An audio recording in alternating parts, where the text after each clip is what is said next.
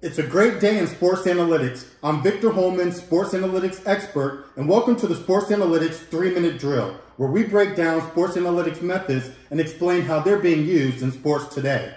Today we're going to discuss statistical prediction models and the NHL research conducted by Michael E. Schuckers. So let's begin.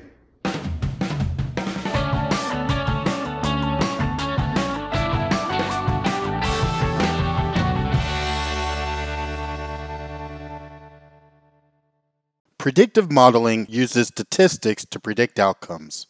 Most often, the event one wants to predict is in the future, but predictive modeling can be applied to any type of unknown event, regardless of when it occurred. For example, predictive models are often used to detect patterns after the game has taken place. In many cases, the model is chosen on the basis of detection theory to try to guess the probability of an outcome given a set amount of input data. Every year, NHL general managers need to decide who they will choose in the draft. A statistical model is built to rank players as to how they should be chosen in the draft. The model included height, weight, statistics regarding points per game, and goals against average, and ranking from the Central Scouting Service. When looking at the future performance of the draftees, it was determined that the model did a better job at ranking the draftees than the general managers did.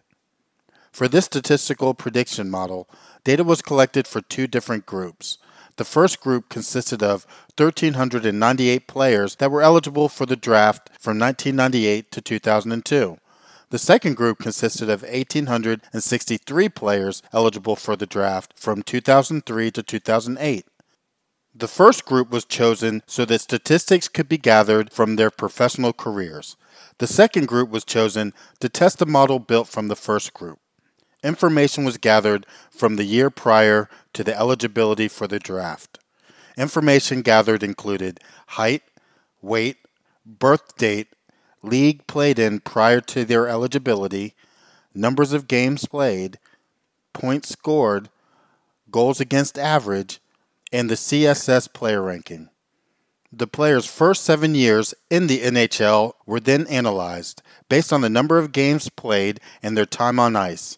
Using games played and time on ice as indicators allows comparisons to be made across all positions, other than just goaltenders. Therefore, there is not any bias towards any particular position. Results from the actual draftees versus those chosen by the model were compared from two different years, 2007 and 2008. Those drafted in 2007 by the NHL had a correlation of 0.547 in regards to time on ice and 0.547 regarding games played in the NHL. The highest correlation possible is 1, so the higher the correlation, the better. Those drafted by the model had a correlation of 0.667 and 0.670 in those same areas. Players drafted by the NHL in 2008 had a correlation of 0.553 regarding time on ice in the NHL and 0.557 regarding games played. Those drafted by the model were again correlated more highly at 0.670 and 0.655. The model consistently demonstrates that it does a better job than NHL general managers of choosing which players to draft.